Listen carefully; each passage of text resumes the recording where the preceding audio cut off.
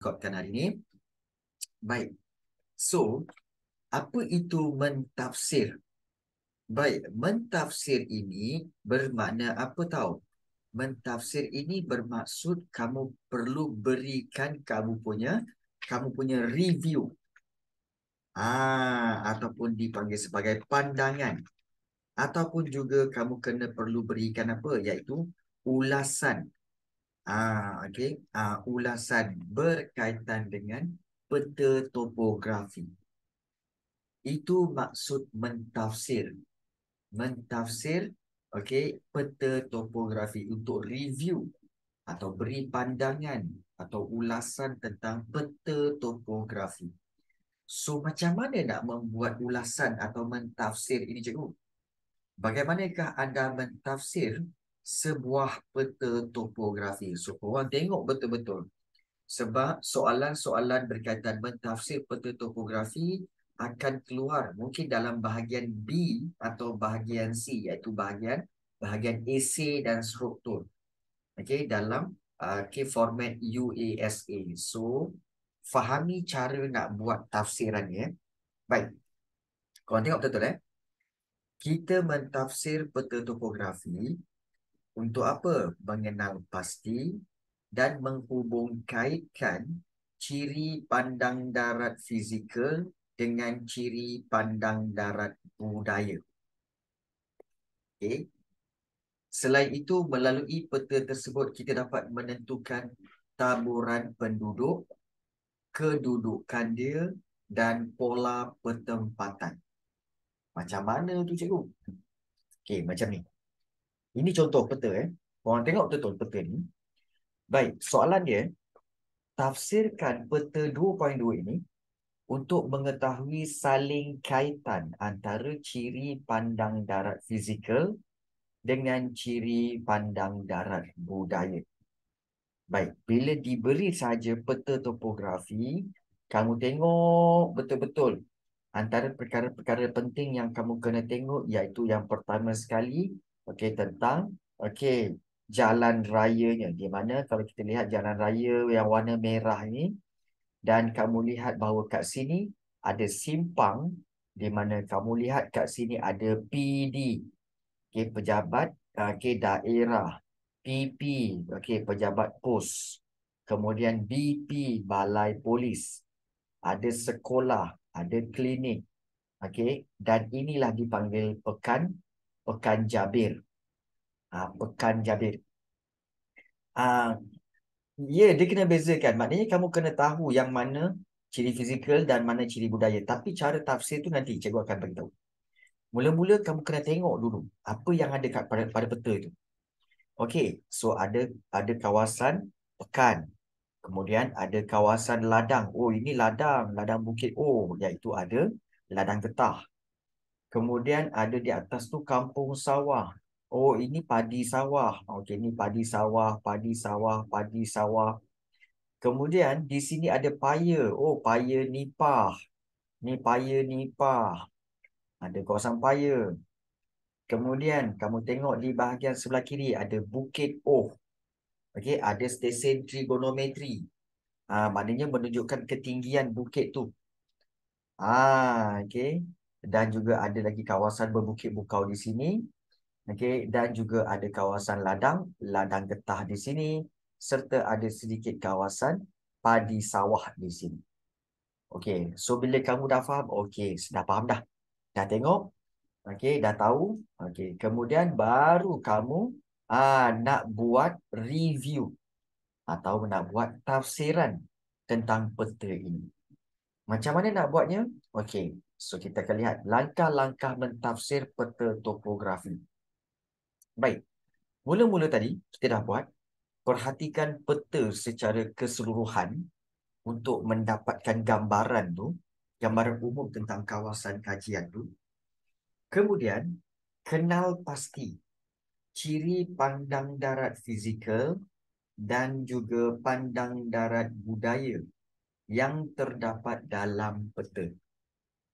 Iaitu kalau kita lihat di sini, okey, ciri dia. Iaitu kita tahu bahawa kawasan ini, okey, kamu nampak tak? Kawasan ini, cikgu tanya kamu eh. kawasan ini di atas ni, okey, di atas ni semua, okey, korang tengok betul-betul, ada tak garisan kontur? Yang kawasan atas tu, ada tak garisan kontur? Ada ke tak ada? Garisan kontur yang macam ni. Ha, ni garisan kontur. Ada tak ni garisan kontur macam ni? Ada tak kat atas kawasan ni? Tak ada kan? Tak ada. Betul? Tak ada garisan kontur kan? Kalau tak ada, maksudnya apa? Maksudnya ini semua, semua kawasan ini adalah kawasan tanah apa? Tanah pamah. Ya, tanah pamah. Maknanya tanah yang rendah. Ya, bila tanah pamah, bila kawasan tanah pamah, dia tak ada kontur. Dia tak ada. Sebab kontur tu ketinggian. Kontur ketinggian. So, ini adalah tanah pamah sebab tak ada kontur. Jadi, tanah pamah memang sesuai untuk padi sawah ha, dan juga petem, petempatan. Nampak tak? Untuk cucuk tanam, iaitu padi sawah, sawah padi dan juga untuk petempatan. Maknanya sesuai untuk kawasan perumahan. Ha, itu tanah pamah. Kemudian kamu tengok juga, okey, ha, yang ini kawasan apa? Ha, yang ini banyak banyak garisan kontur kat sini kan? Ha, bermakna ini kawasan tanah apa? Ha, iaitu kita boleh katakan ini kawasan bukan tanah tinggi, tapi kawasan tanah beralun. Ha, beralun, maknanya beralun-alun macam itulah. Maknanya sedikit berbukit bukau yang tidak tinggi sangat. Jadi tanah beralun ini maknanya berbukit bukau sikit tu itu adalah sesuai untuk tanaman tanaman getah. Nampak tak? Sebab itu ada ladang-ladang kat sini. Ah dan juga terdapat juga kawasan kawasan hutan dan juga bukit di sini. Ah jadi inilah kita kaitkan okey iaitu pandang darat fizikal dengan pandang darat budaya. Pandang darat fizikalnya tanah beralun. Pandang darat budayanya okey uh, ladang getah. Kalau pandang darat okey fizikal tanah pama. Jadi pandang darat budayanya sawah padi. Petempatan. Ah, itu yang dikaitkan dengan pandang darat fizikal dengan pandang darat budaya. Kita kaitkan dia. Begitu. Ah, okey. Jadi itu yang kita maklumkan dan kalau kita lihat memang kawasan okey kawasan ini kalau kamu perhatikan okey kawasan ini semua adalah kawasan yang berbukit bukau. Okey tetapi kawasan sebelah atas dan sebelah kanan ini semuanya kawasan yang tidak ada kontur maka dia kawasan tanah tanah pamah. Sebab itu banyak pertempatan kemudian adanya okey pusat pentadbiran, ada pekan, Ah, okey dan juga kawasan bertempatan. Jadi ini yang dikaitkan dengan pandang darat fizikal dengan pandang darat budaya. Baik. So, kita dah kenal pasti, kita juga kaitkan dah ciri pandang darat fizikal dengan pandang darat budaya tadi. Okey, kita dah kaitkan. Jadi, sekarang ni tafsirkan peta topografi tersebut menggunakan maklumat dan bukti yang terdapat dalam peta tadi. Jadi macam mana caranya cikgu? Ha, macam ni. Dia akan dalam bentuk satu karangan. Satu karangan. Ha, satu satu karangan. Ha, jadi macam mana kita nak buat? Okay, kita nak buat tafsiran seperti ini cikgu. Panjangnya cikgu. Jangan risau. Orang tengok je. Tengok betul-betul eh dengar betul-betul dan tengok betul-betul. Sekarang ada yang bertanya. Tak apa, kalau nak bertanya, boleh bertanya. Okey, supaya kamu lebih faham. Baik, begini. Peta topografi menunjukkan kawasan jertih. Dia bagi tahu dulu pasal tajuk. Okey, oh peta tu peta kawasan jertih. Ciri pandang darat fizikal yang terdapat di kawasan peta ialah dimensionkan satu-satu sungai, hutan, dan paya nipah. Betul.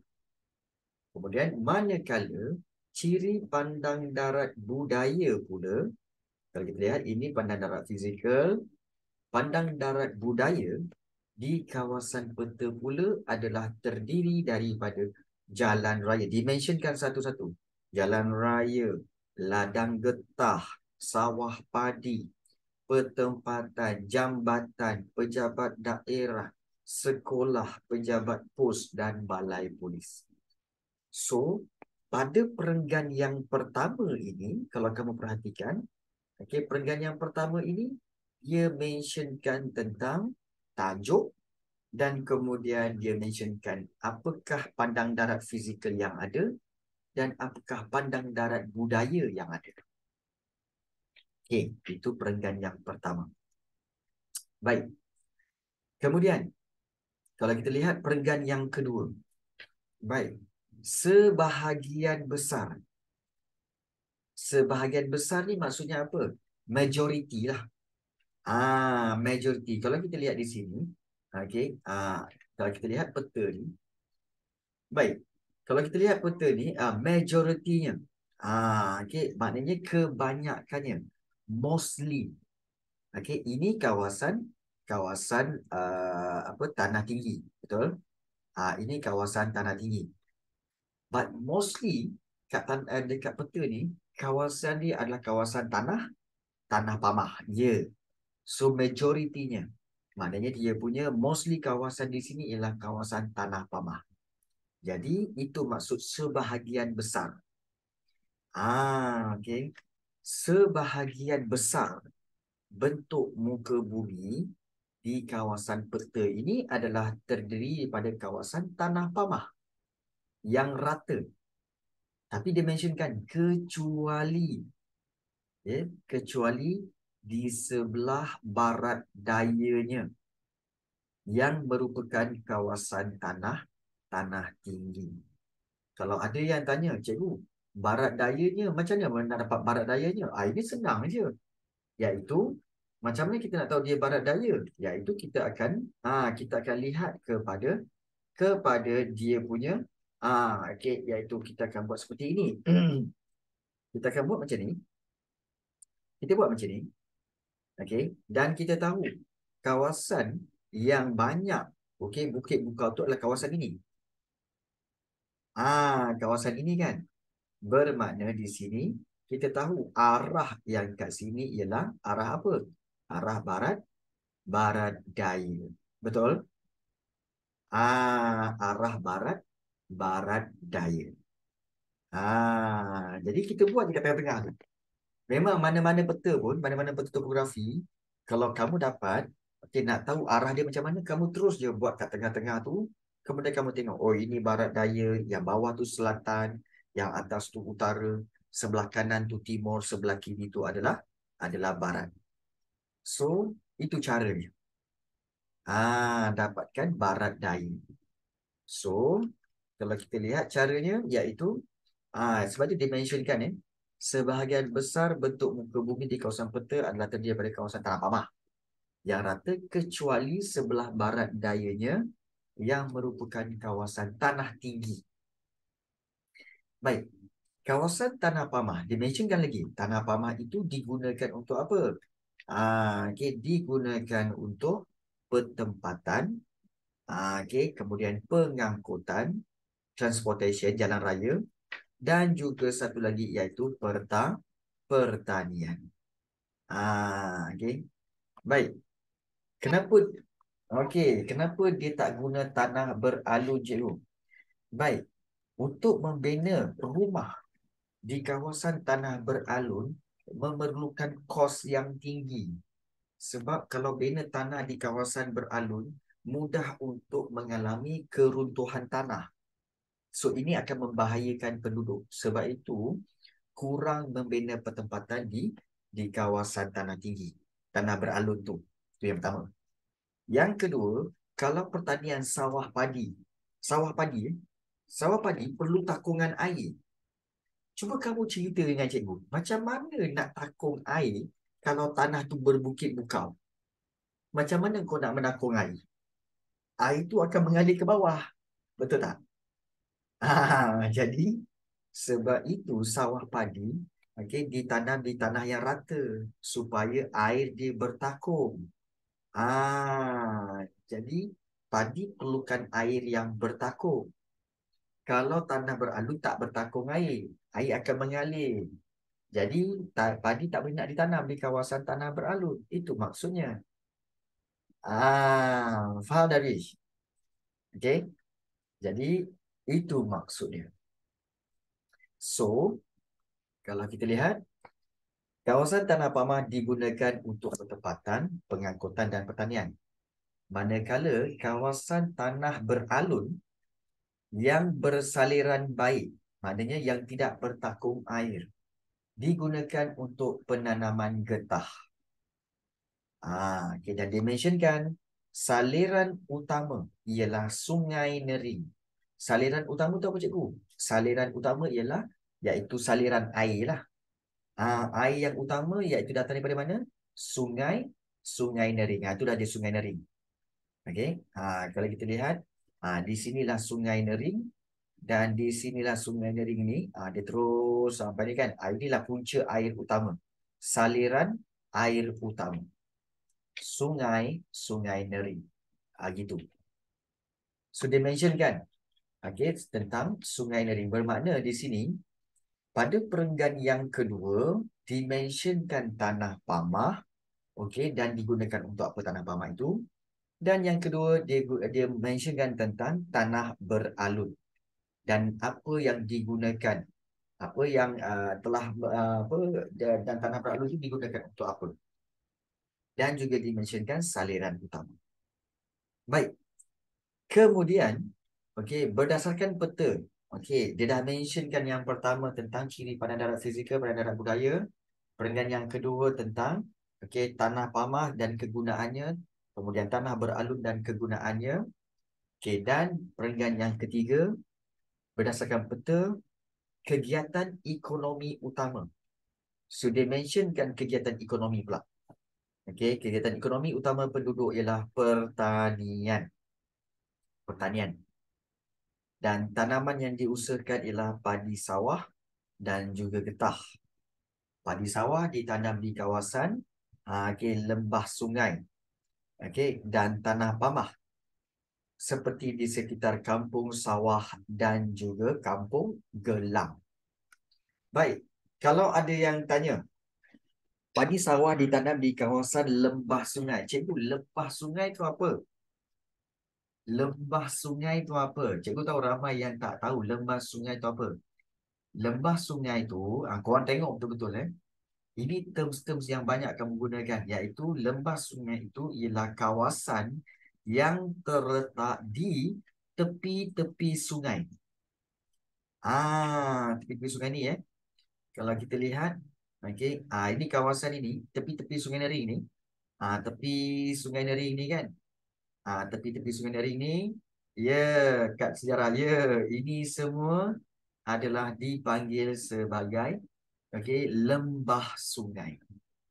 Tepi-tepi itu lembah sungai. Ya, okey. Jadi itu maksud lembah sungai.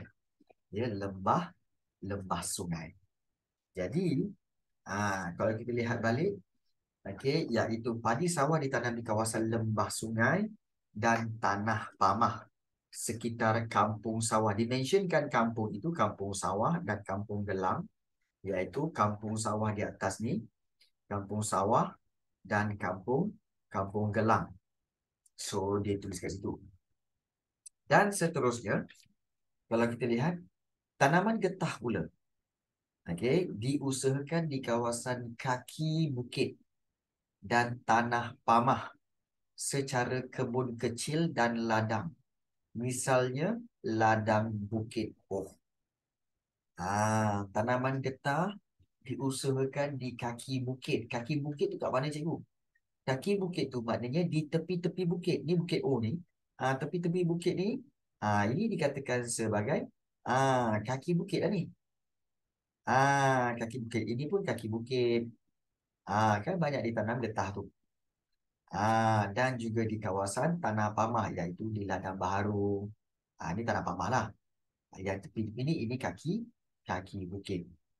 Ah, kaki bukit dan seperti di ladang bukit bukit off kat situ. Jadi kita telah lihat Okey, maknanya perenggan yang ketiga dimensionkan tentang kegiatan ekonomi utama. Okey. Dan aa, pekan Jabir yang terakhir dia akan buat iaitu pekan Jabir.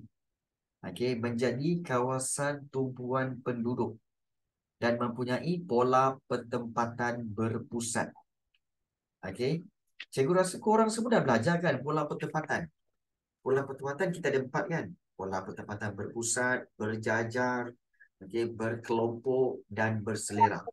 Ah, ya betul. Darius kata dah. Ya, ada. Jadi, kena gunakan okey uh, ilmu itu iaitu pekan jabir menjadi kawasan tumpuan penduduk dan mempunyai pola pertempatan berpusat.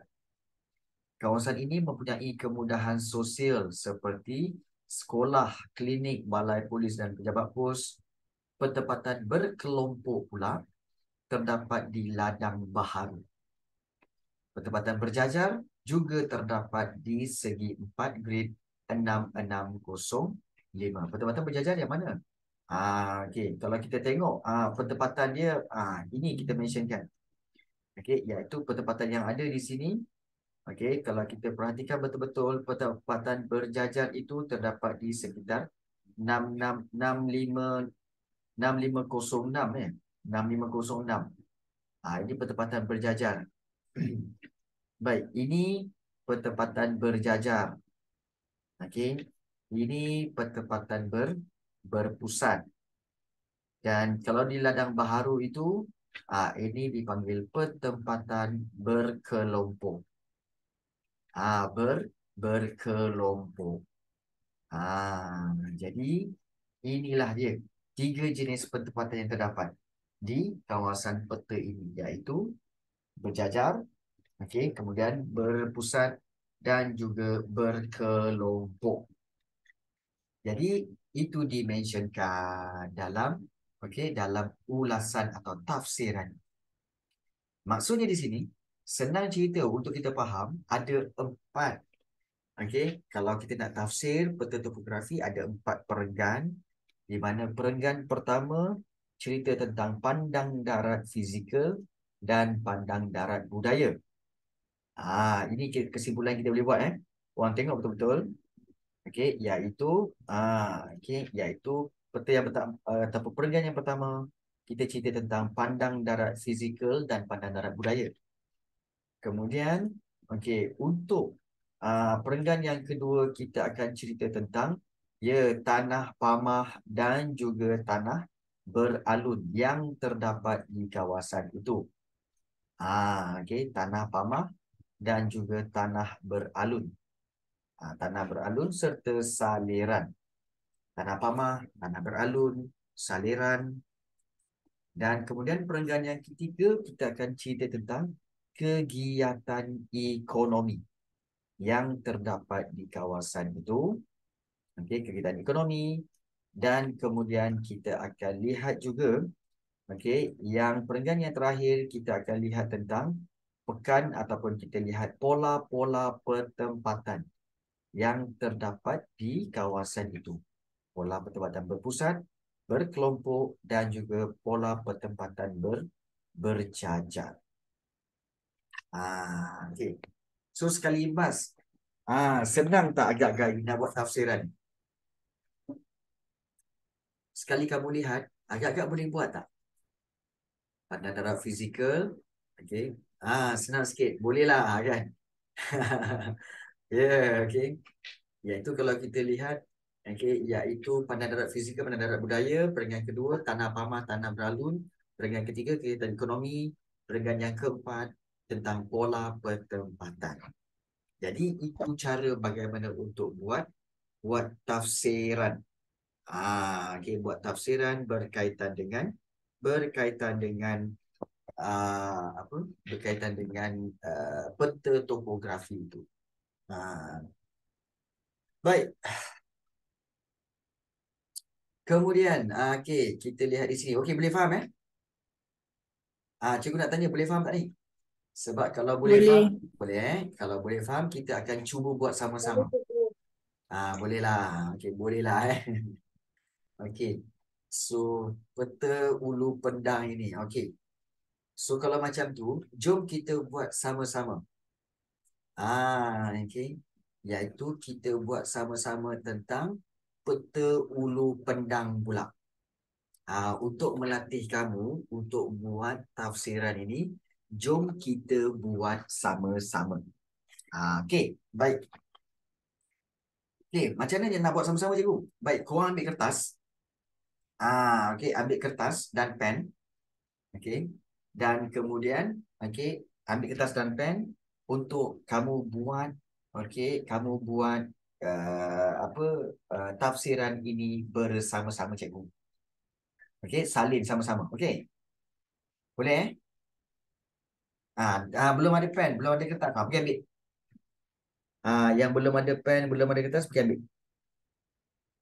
Ah. Okey, kalau dah dah ada, ah, bagi tahu. Dah cikgu. Okey, baik, dah. Okey. Baik, dah eh. Okey, kalau dah. Okey, kita akan buat okey tafsiran tentang tentang peta okey topografi ulu pendang. Baik, macam mana nak buat peta topografi ni cikgu? Okey, jom kita buat sama-sama. Okey, mula-mula ah ni mula-mula ya. Kita tengok kawasan ini, uish. Ah, kau tengok betul-betul eh. Kawasan ini penuh dengan kontur, nampak tak? Penuh dengan kontur. Maknanya sikit je kawasan di sebelah kiri atas ini, ini je kawasan yang tak ada kontur. Maksudnya apa? Maksudnya kamu tahu ini semua adalah kawasan ah kita boleh anggap oh ini kawasan tanah tanah pamah. Okey, tanah pamah. Manakala the rest okey ini adalah tanah apa? Okey, tanah beralun. Ah tanah beralun. Ya, yeah, okey, tanah beralun dan kita tahu bukit yang paling tinggi kat sini adalah Bukit Jengkol. Ah, Bukit Jengkol kat sini. Ada tanah tinggi sini, sini Bukit Jengkol. Ah, okey, kita dah tahu. Oh, okey. So, tanah pamah, tanah beralun. Okey, dan juga ada tanah tinggi sikit kat Bukit Jengkol. Tanah pamah ni di mana ni, cikgu? Ah, okey, maknanya di manakah kedudukan dia? Okey, tanah pamah itu kita akan buat seperti ini. Okey. Kita akan buat seperti ini dan kemudian kita akan tengok itu arah mana. Okey, ini arah barat laut. Arah barat, barat laut. So, di sini Tanah Pamah ini adalah kawasan barat, barat laut. Okey. Baik, faham. Ah, okey. So, kita dah faham bahawa okey. Ah, sekarang kita dah tahu itu barat laut. Baik. So, macam mana kita nak buat ni cikgu? Okey, jom. Kita buat yang itu dulu. Kita buat perenggan yang pertama dulu. Okey, iaitu kita buat seperti ini. Ha, kita mula-mula buat tajuk eh. Okey. Okey. Peta topografi. Okey, di atas adalah menunjukkan okey, ha, peta kawasan Ah, kawasan apa? Iaitu kawasan kawasan Ulu Pendang. Ah, Ulu Ulu Pendang. Titik. Ah, okey. Baik, so begitu. Baik. Dan kemudian ah, okey. Cikgu ada jarak ke tak ada jarak? Ada jarak-jarak macam mana? Yang macam dalam karangan kan? Ah, okey. Dia tak perlu jarak lagi. Belum. Di antara perenggan dengan perenggan tu baru ada jarak. Antara Hmm. ayat tak perlu. Okey. Ah, okey, baik. So, peta topografi di atas adalah menunjukkan peta kawasan Ulu Pendang.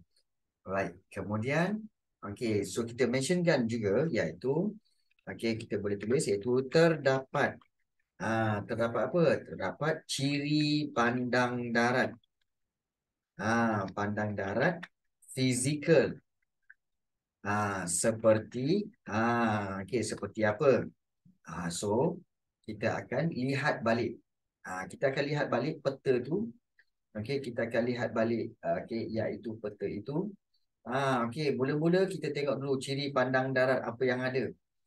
Baik, untuk memudahkan kamu, sebenarnya mudah saja, iaitu kamu tengok pada petunjuk, kamu tengok pada petunjuk, okay, iaitu kita tahu bahawa kontur sungai, hutan, ini adalah pandang darat fizik, fizikal, betul? Manakala yang lain-lain ini, padi sawah, kelapa sawit, getah, jalan raya, jambatan, pertempatan ni semua adalah ciri pandang darat Buddha budaya. Ah, ciri pandang darat budaya. Ah, jadi bila kamu dah tengok, okey. So senanglah ni. Ah, senang nak buat iaitu kita akan buat seperti macam mana cikgu? Iaitu seperti ini. Jom. Okey, tadi kita buat tadi terdapat ciri pandang darat fizikal Okey. Uh, seperti apa? Okey, kita boleh tulis iaitu seperti okey. Okey, seperti kontur, okey, uh, sungai dan hutan. Ah, uh, okey, hutan. Titik. Uh, okey, titik kat situ. Kontur sungai dan hutan. Selain itu, uh, kita boleh uh, apa letakkan di sini juga. Okay, selain itu, Okey, terdapat ciri pandang darat. Okey, pandang darat budaya. Okey, ciri pandang darat budaya. Okey, seperti okey, uh, seperti okey, padi sawah. Okey, uh, kelapa sawit, getah, uh, okey jalan raya. Okey. Uh, kemudian juga kita boleh mentionkan jambatan. Okey. Uh, serta kita ambil lah. Okey. Tak perlu semua. Sekolah. Dan uh, okay, balai. Balai polis. Tak perlu ambil semua. Eh. Uh, tak perlu ambil semua. Tapi uh, perbanyakkannya. Okey. So kita buat speed. Okey. Uh, di okey so selain itu terdapat ciri pandang darat budaya seperti padi sawah, kelapa sawit, getah, jalan raya, jambatan, sekolah dan balai polis di kawasan oh ini. Ha, di kawasan ataupun kawasan ini. Okey, titik. Baik. So ini adalah kita kata sebagai perenggan yang pertama. So kita mentionkan tentang ciri pandang darat fizikal yang ada dan juga ciri pandang darat budaya yang ada. Ah, ini betul. Ini adalah perenggan yang pertama. Okay. So, kita dah mentionkan ciri pandang darat, okay, fizikal dan budaya. Kita masuk perenggan yang kedua. Perenggan yang kedua pula, kita akan mentionkan tentang ah, okay, iaitu tentang uh, apa? Tentang tanah. Ah, okay, iaitu tanah pamah dan juga uh, tanah beralun. Kita boleh gunakan seperti teknik yang digunakan dalam dalam uh, perenggan tadi ataupun dalam dalam latihan tadi iaitu sebahagian besar. Ah, okay. Kawasan ini okay, adalah tanah beralun. Ah, okay. Kawasan tanah beralun. Okay.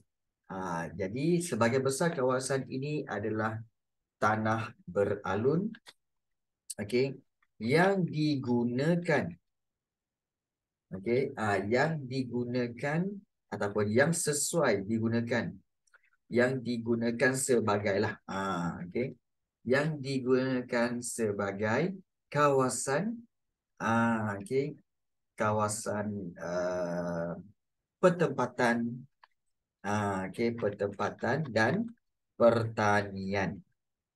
Ah, okay. Sebagai uh, tanah beralun yang digunakan sebagai kawasan, sebagai pertempatan dan pertanian. Ah, dan kita boleh mentionkan Okey, iaitu okey. Uh, pertanian ataupun kita kata tanaman getah. Okey, uh, okay. tanaman getah menjadi tanaman utama uh, okay, di kawasan ini. Uh, okay. Kawasan ini uh, yang ditanam secara ladang. Uh, okay. Okay. Yang ditanam Maksud kita boleh buat sini yang ditanam secara ladang. Ha, secara ladang ataupun secara bukan kebun kecil tapi secara ladang. Ini tanah yang besar. Okey, seperti ha, seperti ladang batu tiga. Ha, ini nama-nama ladang tu eh. Kalau kamu tengok dalam buku teks tu ada. Okey, seperti ladang batu tiga. Okey, baik. Ha. Okey, ladang batu tiga dan kemudian kita lihat juga um, tanah tinggi. Okey, um, okey tanah tinggi. Okay. Tanah tinggi yang terdapat. Okey uh, di kawasan ini okey adalah okay, uh, adalah Bukit Jengkol. Uh, adalah Bukit Jengkol yang okay, berketinggian. Berketinggian 874 874 meter. Okey, baik. Tu tanah uh, okey tanah beralun. Okey. Uh, terdapat juga ha, kita boleh mention kat sini terdapat juga okey tanah pamah okey uh, yang terletak di barat okey barat laut okey peta ini uh, okey di barat laut peta ini okey dan kita tahu okey kawasan ini, kawasan tanah pamah ini menjadi tumpuan penduduk. Okey, tumpuan okey uh, penduduk. Uh, okey, untuk dijadikan okey, dijadikan pertempatan dan uh, okey, penanaman sawah padi. Ha, okay, penanaman sawah padi.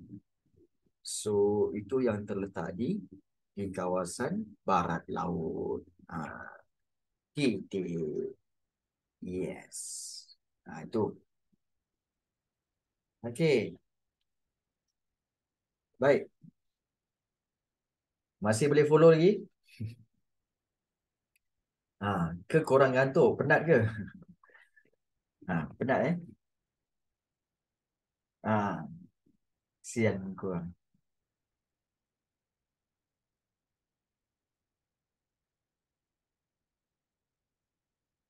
Okay, boleh eh? Alright. So, boleh? Ah, boleh kita teruskan? Ah, sikit lagi. Ah, boleh eh? Okay, baik. Kita lihat pula kegiatan ekonomi. Okay, untuk peta tadi, kalau kita lihat kegiatan ekonomi. Macam mana tengok kegiatan ekonomi? Kita akan tengok tanah yang ada lah. Okey, iaitu kegiatan ekonomi utama mereka adalah okey, padi lah. Uh, sorry, bukan padi. Uh, apa? Penanaman getah. Okey, yang ditanam secara ladang, di ladang batu tiga dan juga terdapat di kawasan kaki bukit. Ah, okey, kaki bukit jengkol. Ah, okey, kaki bukit jengkol. Dan kita tahu kat sini juga ada uh, kawasan sawah padi. Okey, kawasan sawah padi. Okey. Uh, jadi kita boleh mentionkan juga okey, benteng ini dibina. Terdapat benteng yang dibina di sepanjang sungai untuk mengelakkan air memasuki kawasan sawah sawah padi. So itu juga kita boleh mentionkan. Jadi macam mana nak mentionkan cikgu? Okey, kita sambung lagi. Okey. Uh, kegiatan ekonomi utama. Okey. Uh, kegiatan ekonomi utama. Okey, di kawasan ini adalah pertanian. Okey. Uh, okey, adalah pertanian. Okey, adalah pertanian. Okey iaitu okey penanaman getah dan uh, dan uh, okey padi. Getah dan padi. So kita mentionkan dulu. Okey dan kemudian kita boleh buat iaitu uh, penanaman getah. Uh, okey uh, penanaman getah. Okey di okey ditanam. Penanaman getah banyak terdapat. Okey uh, di kawasan. Okey uh, ladang. Okey kita boleh tulis ladang. Ladang apa tadi? Okey ladang batu tiga okey di kawasan ladang batu tiga okey dan kaki bukit ah kaki bukit uh, jengkol. Okey, iaitu kaki dan kita buat macam inilah. Okey, kaki bukit jengkol. Okey, ha, banyak terdapat di kawasan ladang batu tiga dan kaki bukit jengkol. Okey. Baik. Kemudian, okey. Kemudian kita mentionkan juga, okey. Uh, Okey, kemudian kita boleh mentionkan juga. Okey, sebahagian. Okey. Kawasan sawah padi. Okey, kawasan sawah padi. Uh, Okey, uh, padi diusahakan. Bukan kawasan sawah padi, sorry. Pertanian.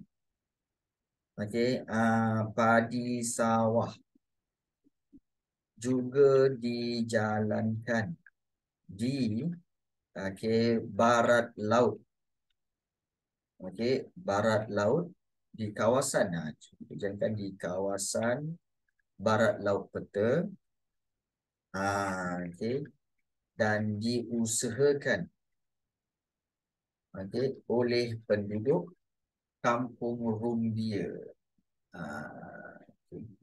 oleh penduduk Kampung Rumbia. Kampung Rumbia. Baik. Kemudian kita boleh juga mentionkan iaitu okay, uh, benteng. Okay, benteng. Benteng ke kan? Ha, benteng lah. Okay, benteng sepanjang sungai. Okay, uh, okay ataupun benteng sungai ya. Benteng sungai telah dibina. Okey. Uh, di kawasan ini. Okey, di kawasan ini bagi mengelakkan uh, okey, air sungai masuk ke dalam okay, sawah padi. Ah, okay, ke dalam sawah padi. Alright. So ini adalah uh, apa tentang kegiatan ekonomi dan kita akan masuk kepada bahagian yang terakhir tentang uh, okay, iaitu uh, tentang uh, okay, ciri pandang darat fizikal. Eh, sorry, budaya yang terdapat di sini. Eh. Iaitu kita boleh mentionkan yang last iaitu balai polis. Okey, balai polis. Okey, kita boleh tengok sini. Terdapat eh. Terdapat balai polis. Ataupun kita kata terdapat kemudahan. Okey, awam. Seperti okey, balai polis dan sekolah. Okey, ha, dan sekolah uh, berhampiran dengan uh, berhampiran dengan kampung Rumbia. Okay. Berhampiran dengan kampung Rumbia. Berhampiran kampung Rumbia. Okay. okay.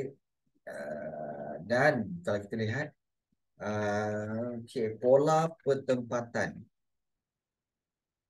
pola pertempatan berpusat okay. pola pertempatan berpusat terdapat di kampung Rumbia.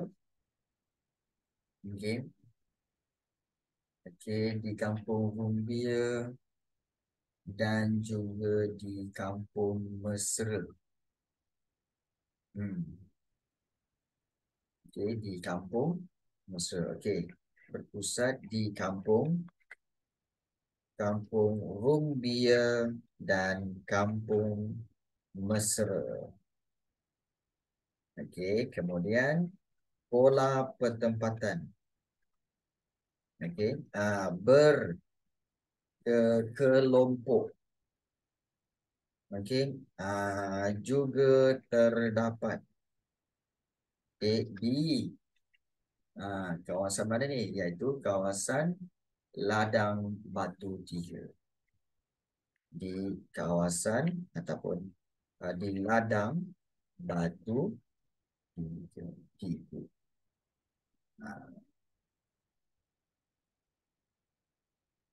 Kalau besar di kampung ini. Okey. Uh, Okey, kita boleh mentionkan manakala kat sini ni. Manakala pola pertempatan berkelompok terdapat di ladang batu tiga. Okey. Baik. So, ini adalah empat perenggan yang kita telah buat untuk kita tafsirkan peta ulu pendang tadi. Korang dah salin belum? Ke korang dah tertidur dah ni? ah, Sarah Safia. Okey, baik, bagus. Okey. Ah, salin. Okey, kenapa cikgu minta kamu salin? Sebab selepas ini kamu akan dikendaki untuk untuk snapkan gambar eh snapkan gambar okay, yang kamu dah buat dan kamu kena send dalam grup telegram okay, tingkatan 2 yang cikgu akan berikan link dia untuk kamu masuk mungkin dalam malam ni ataupun ni. Ah, okay. Tak ada, tak ada. Jangan saya sekarang. Korang tak masuk lagi dalam grup telegram tu. Ah, tunggu. Korang kena hantar dalam grup telegram eh. Private tak boleh ke cikgu? Private tak cun. Cikgu nak kamu kumpulkan dalam grup. Ah, dalam grup. Okey. Ada link ke? Nanti cikgu akan berikan link. Cikgu akan berikan link. Ya. Yeah. Ah, cikgu akan berikan link. So, dah siap? Ah, okey. Ah, okey. Ya, yeah, okey. So, inilah dia. Okey, contoh bagaimana kamu membina okey tafsiran tentang peta topografi. Kita buat ikut format tadi eh. Itu format dia yang atas sekali ni ini adalah tentang okey pandang darat fizikal dan pandang darat budaya. Kemudian yang bawah ni tentang okey tanah pamah dan tanah beralun ataupun tanah tinggi. Yang bawah ini kegiatan ekonomi. Okey dan yang last sekali tentang ha, kemudahan awam serta pola petem pola pertempatan. So ini format dia. Ini format dia. Ha, jadi, bila kamu jumpa mana-mana peta lepas ini, peta topografi, kalau nak buat dia punya tafsiran, ini cara dia. Ini cara dia. Ha, satu persatu. Okey, baik. Um, InsyaAllah, okey. Uh,